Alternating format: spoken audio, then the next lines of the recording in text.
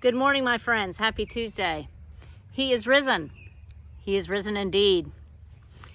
I was reading an essay by theologian N.T. Wright just the other day, and in it he wrote that he wished that the 40 days after Easter could be celebrated as much as the 40 days prior to Easter.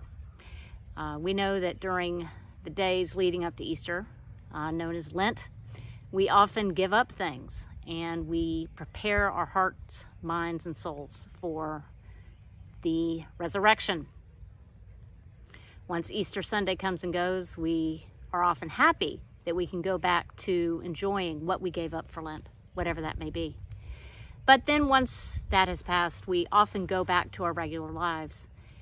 And um, Bishop Wright was saying that wouldn't it be great if we could continue to celebrate the fact that he is risen and he has come again to save us.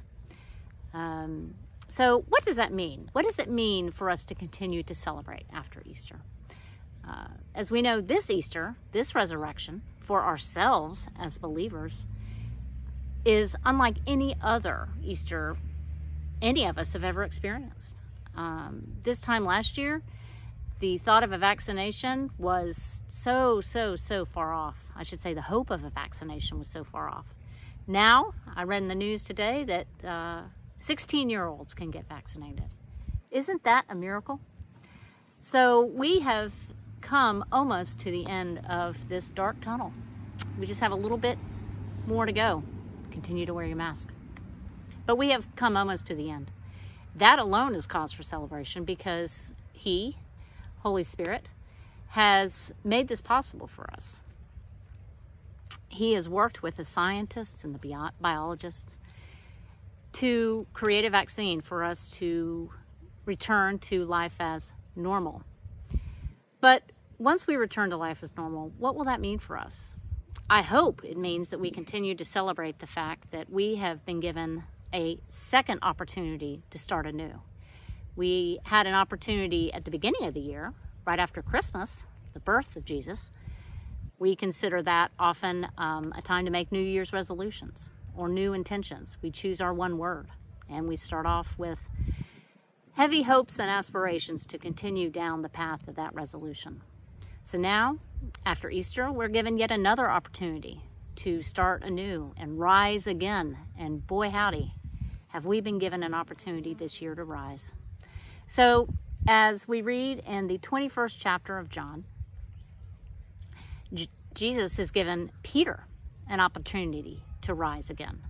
We know that Peter denied Christ three times, but yet, after the resurrection, Jesus gave Peter an opportunity to be reinstated. And when that opportunity came, he asked Peter to take care of his lambs and feed his sheep. So, folks, we now have an opportunity to rise and to take care of the lambs and feed the sheep.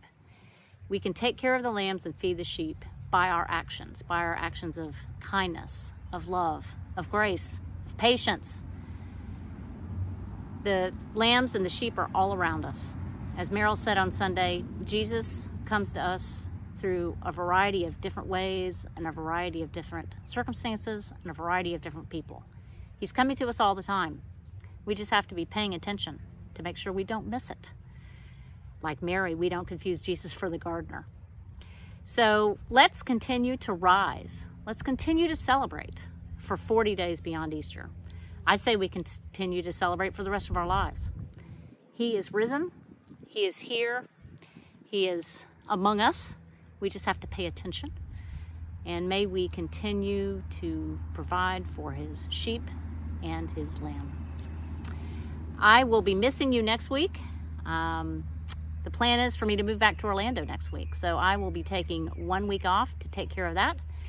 But I will look forward to seeing you the week after. And so I hope you have a most splendid week. It's a beautiful string of days ahead of us. I hope you enjoy it. Know how much you are loved. And I will look forward to seeing you soon. Blessings.